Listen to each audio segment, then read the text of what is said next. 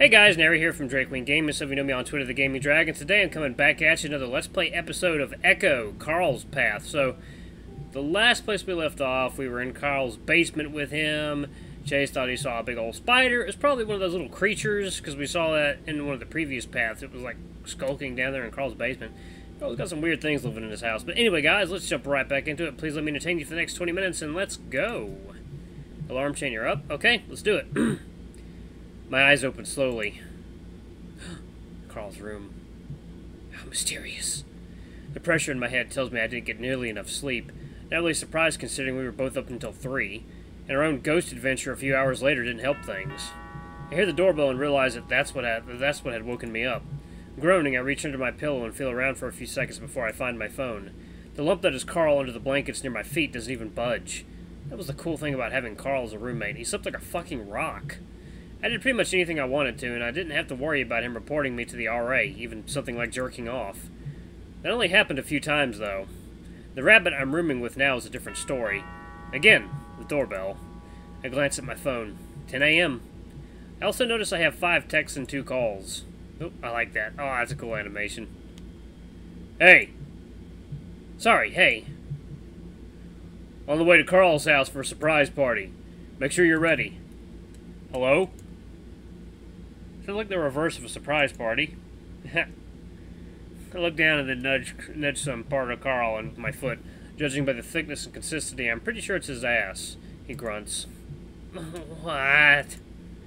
I think someone's at the door? He doesn't say anything, and a few seconds later, his guttural snores start up again. This time I really dig my foot in and he yelps loudly, sitting up so fast his horns bang against the wall. He squints against the sunlight pouring in between the blinds, which turns his emerald eyes to an almost mint green. He raises up a paw to block the light and looks at me, frowning. What the hell was that? The doorbell goes off again. Door! Carl blinks at me, then slumps back down on his pillow, waving a paw lazily in the air. Let it ring. It'll go away eventually. Huh? Are, are you sure?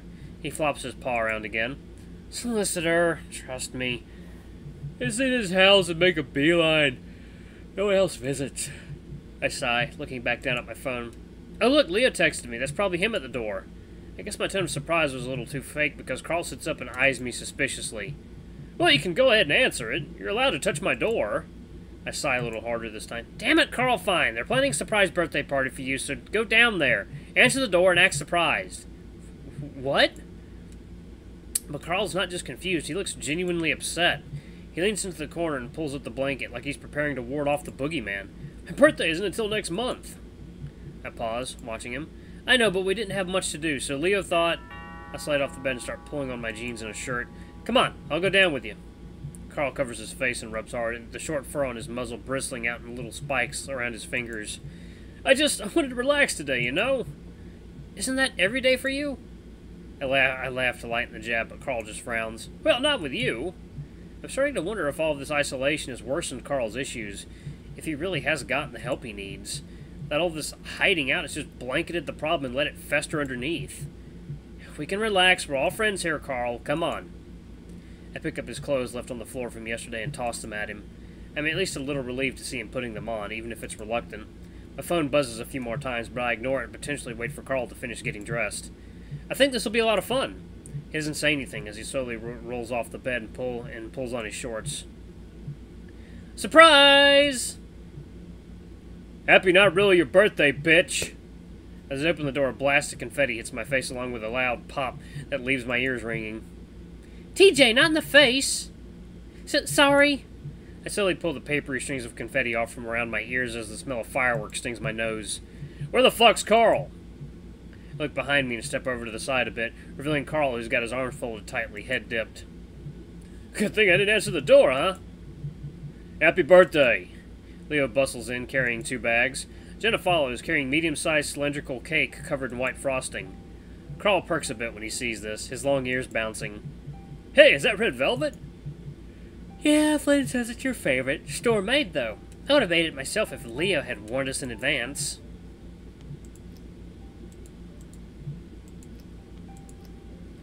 Hey, I just came up with this like two days ago. Flynn engages Carl with some fake punches while Leo sets the bags down on the table before turning to me with his voice low. Just so you know, your gift is a horn band. Okay, so is everything alright with, with Flynn, I mean?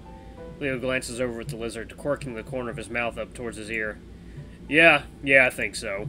It will take a bit of time for him to settle down, but he already sort of apologized we were gone. So that's a start at least, yeah? I exhale. Okay. Carl, where are your plates? The, uh, the, the cupboard, second door over. Now that Flynn's not shoving him around, Carl's, Carl's standing by awkwardly next to the table, paws fidgeting. So, why are we doing this? It's not until next month. Leo shrugs, frowning. We just wanted to do something, really. I mean, there's not much to do, you know. You have candles anywhere, Carl? Uh, no, no, I don't think so. What's up, man? Haven't you had your morning joint yet? Lighten up. Flynn snatches up one of Carl's horns and wobbles his head around. Well, it's something Flynn did to Carl a lot. The taboo act of grabbing someone's horn almost makes me gasp out loud. So stop! Carl shoves Flynn off and smooths his beanie down. Well, I guess we'll have to skip the candles. I told you we would have. We should have brought some, Leo. Leo, Leo throws his arms out and shrugs. What? Sue me if I thought they'd have everything we need in this mansion. No kidding. You know how places you haven't been to since you were little look smaller when you visit as an adult? TJ's eyes scan the tall ceiling. This place still looks giant. Eh, sure, TJ. Carl huffs out of breath. Why didn't you guys tell me? I still need to take a shower. Quit being a pussy. You smell. You always smell like a skunk. Now eat some cake. Flynn grabs up the knife while Jenna sets out the plates. The frosting is so thick it practically absorbs the knife. I haven't had cake for breakfast since like your last birthday party, Carl. Carl doesn't say anything, instead sitting at the end of the table, paws in his pockets. You guys sure slept in. What were you all doing? Uh, what were you all doing all night? I wait to see if Carl is going to say anything. When he, it's clear he isn't, I chime in. Video games mostly, and a movie. Fun, fun. It's something we could have all done together, though. It may, maybe for people who don't have a job and to go to the next day. I don't think that was a personal dig at Carl, but I don't miss the downward flick of his ears. Flynn plops down a thick slice of cake onto Carl's plate, the inch-deep frosting making a splatting sound. Hey, maybe we should just stick a doobie in there and light it, huh? Carl, who had perked up at the sight of the cake, shrinks back down with a frown. It's just a small slice, please. Flynn eyes TJ, who's holding out his plate, and positions the knife. S smaller, please. Oh my god, loosen up, you're on vacation. Flynn starts cutting the slice even bigger than Carl's was. Hey! Flynn! She says it quietly, but the chill in her voice is clear, and so is the fact that things aren't completely okay. Flynn grunts, then cuts the cake again, this time with a slice that's just an inch wide. That good?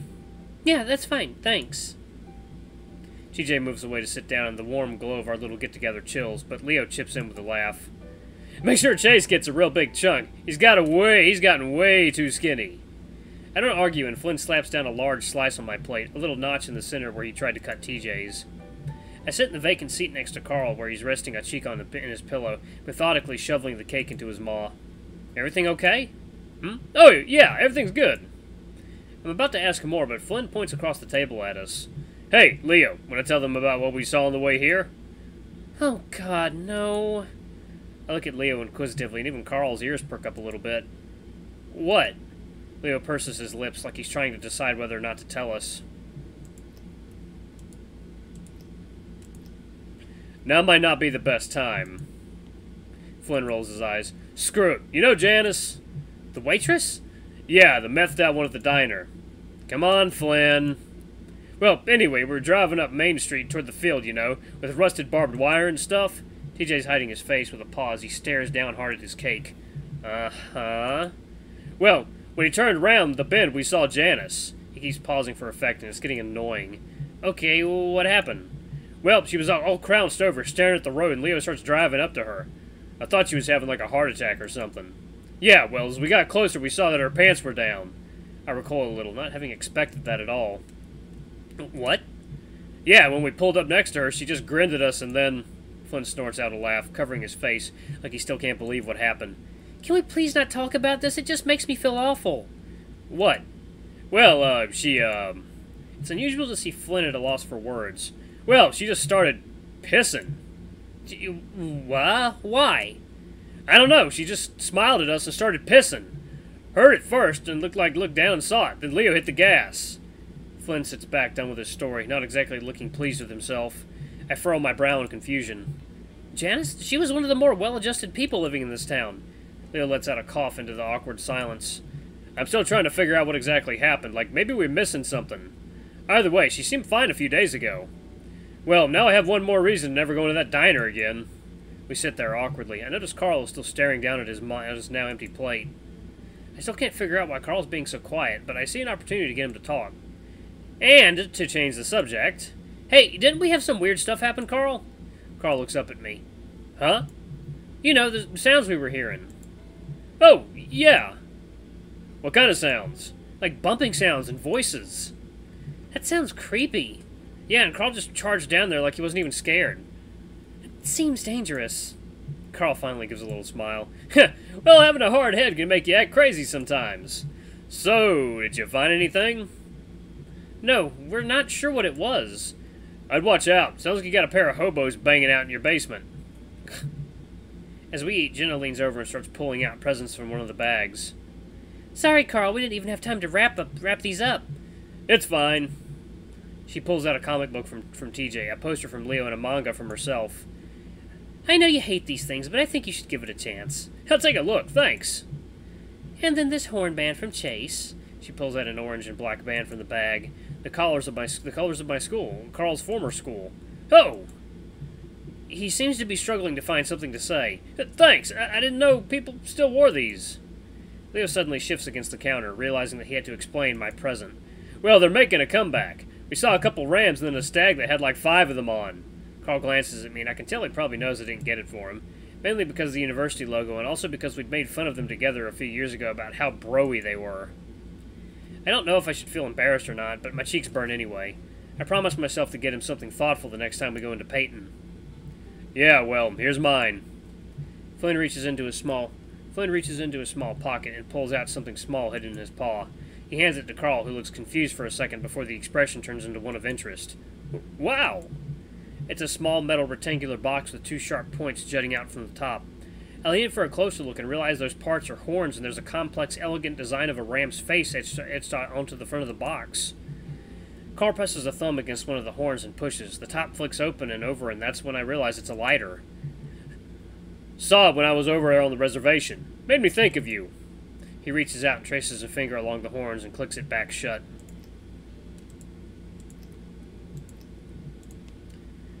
Thanks, Flynn. Yeah, now you look like a badass when you decide to get blazed. yeah. Oh, sorry! We all jump and look over at TJ, who's looking at the floor, his plate gone from the table. Flynn starts to laugh, but catches himself. Don't worry about it. They're probably they probably got a hundred of those plates. Carl, where's your broom? He doesn't say anything, and we look when we, and we look at where Carl had been sitting a few seconds ago. But he's gone, and so is another portion of the cake. Huh? Where'd he go? Carl's awfully fast. Stealthy, too. Kind of odd. hey, check between the wall and the fridge. I think that's where I remember seeing it. TJ gets down on his knees and starts picking up the larger pieces. I look back at Carl's spot, then up the stairs. I'll be right back. Bathroom. I'm not sure why the deck is in the, the, I'm not sure why the deck is the first place I look, but it's where I find him. I watch him through the paneled curtains for a moment. He's sitting on a little swing set, facing out towards the glaringly bright desert. There's an empty plate with a fork on it next to him. He is also toying with the lighter Flynn gave him, flipping it open and closed a few times and holding it up to the light. Smoke wafts up from his lap where I assume he's holding a joint. Quietly, I slide open the glass door and step out onto the wooden balcony. The deck is, of course, nice and big, stretching around half the house. I see Carl's long ears twitch at the sound, and he, low- and he lowers the lighter, the lighter down into his lap, but doesn't turn around. Hey! He does turn around, then, and smiles. Shit! I thought you were with Leo. I thought you were Leo or something. Would that have been a bad thing? I look around, then just decide to sit next to him on the swing. He'd just had pulled me back to the party. I look over at him. He's looking down at his lighter, turning it over in his paws, the hoof portions of his fingers making clanking, making clacking sounds against the metal. Those things always fascinated me. It seemed like it should make holding things more difficult, but he managed just fine. Are you okay? Carl huffs out a chuckle and leans his head back against the cushioned backing of the seat. That's a great question. Everyone's always asking me. You just seem really uptight, is all. Carl's demeanor is a lot more relaxed now, obviously. As if to emphasize that thought, he takes another hit off his joint and holds his breath for a moment, then lets it out. The pungent smell envelops me. I just don't like being around so many people, you know that. Well, yeah, but you were fine around, or, but you were fine around them these past few days. Carl rubs his forehead hard with a paw holding the joint, using his palm. Yeah, well, things things weren't about me then. Just felt a little bit put on the spot. He coughs. That shit just got me nervous. Like, can't we just hang out and not make it about me? I don't say anything, annoyed again that I just can't grasp what he means. Am I making you nervous? Carl finally does look at me, and his massive horns sway towards me. No, you never do, Chase. I do look away at that point, almost feeling self-conscious at the way he opened up to me. And thanks for trying to get me to talk earlier. Just makes me feel guilty, though, the way people try to include me in things and then I just disappoint them. One second, guys, repositioning myself. There we go. okay. But you just don't really force me into shit. Everyone feels like I need to do something. Why can't I just decide that for myself? I push against the ground, making the swing sway a little, trying to think of the right thing to say. I mean, it's good to do stuff, right? You can't just sit around doing nothing forever. I guess. It's just that I, worry enough about myself. I don't need other people doing it for me. I lean back in the swing for a bit, looking out over the desert. Man, I'm hungry. Wish I brought more cake with me. Not enough incentive to go back in? Not yet. I could go get you some. He smirks at me. You one of those fat fetishists just feeding me garbage so my moobs get bigger? You don't have moobs. I've felt them. Yeah, I can't keep your paws off me. You have a thing for my fat ass? I look him over, as if studying his figure. Hmm. Hey! He covers his chest.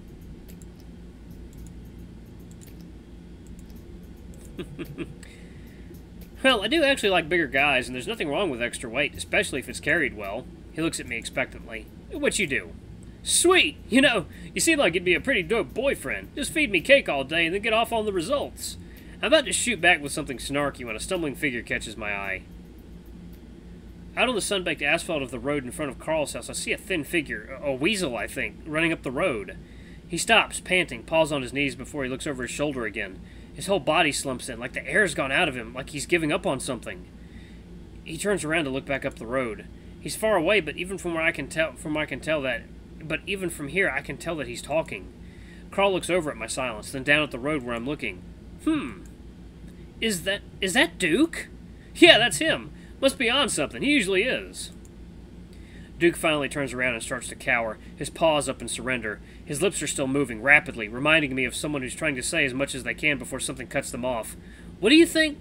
I trail off as Duke suddenly whips his head around and looks up at us, and starts pointing up at our balcony. Uh-oh! Let's hope the doors are locked! Carl's chuckling, obviously finding the whole thing hilarious, but I'm a bit more on edge. I don't really feel like he's high. Duke's movements are a lot more focused, more precise, like he's all there. And for some reason, it feels like he's looking directly at me. I furrow my brow, watching as the weasel turns toward us, sticking a foot out to take a step. The sound of the sliding glass door wrenching open nearly makes me jump out of my skin. What the hell are you guys doing? Jenna marches around and swing around the swing set to stand in front of us, paws on her hips. Whoa! What, what's up, Jenna? Carl leans back. In, Carl leans back in the swing, elbows over the back, smiling. The fox's eyes narrow as she sees the joint. Did you forget who this party was for? Carl shrugs and rubs his forehead again. Leo, I'm guessing. No, we spent all day yesterday getting this ready for you, Leo especially. Now get back downstairs and have your party. Carl sits quietly for a moment, then glances at me. No, no, I don't think I will. He's not. He's not smiling anymore. His face expressionless, head turned back towards Jenna, but his eyes are wandering off towards the side, looking at the sky. Why not? Because I don't. Because I didn't fucking ask for it. I pretend to look at my phone. What, a party? I'm sorry, we were trying to be thoughtful, Carl. Maybe we should just forget you next time, huh? Jenna, it's okay. We're just hanging out. She ignores me. I see the skin inside Carl's ears and around his nose turning red. Since he was a kid, Carl didn't deal with conflict. Didn't deal well with conflict, usually running away the first chance he got. No, this was for Leo. I still understand why we couldn't do something that didn't involve... Sorry, Carl, but that's life. Sometimes you have to come out of your own room. Sometimes you have to be the center of attention, and sometimes, God forbid, you have to talk to people. Well, what if I just want to stay up here and hide? Who gives a fuck? The look on Jenna's face is approaching contempt.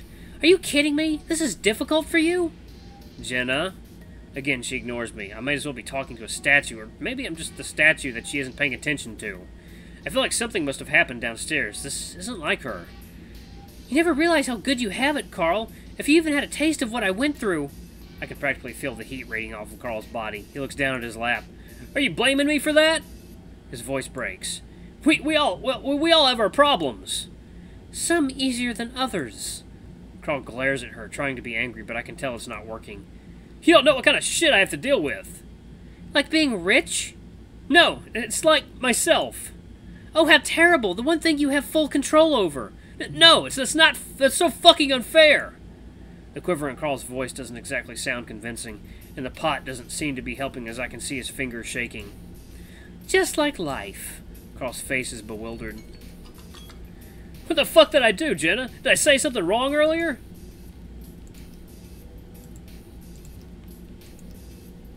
Out of habit, he lifts the joint to his muzzle with his shaking fingers, but then flinches as Jenna steps forward.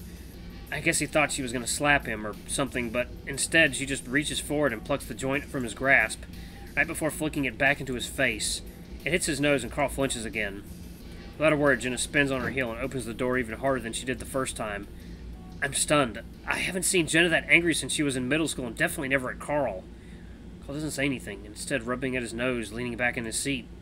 The insides of his ears are still flushed to deep red. What the fuck was that? I don't know. Something must have happened. That wasn't Jenna. I'll ask Leo about it later. I didn't do anything, did I? I shrug. No words coming to mind. Alright, guys, I'm gonna pause it right there. Ooh. Yeah, a little bit of a confrontation between Carl and Jenna, and something's going on with Duke. Ah. Ay, ay, ay. Anyway, guys, thank you so much for watching. Don't forget to like, comment, subscribe, ring that notification bell. Leave a super thanks if you can. It always helps. And until the next uh, next video, I love you all. I'll see you next time. Bye-bye.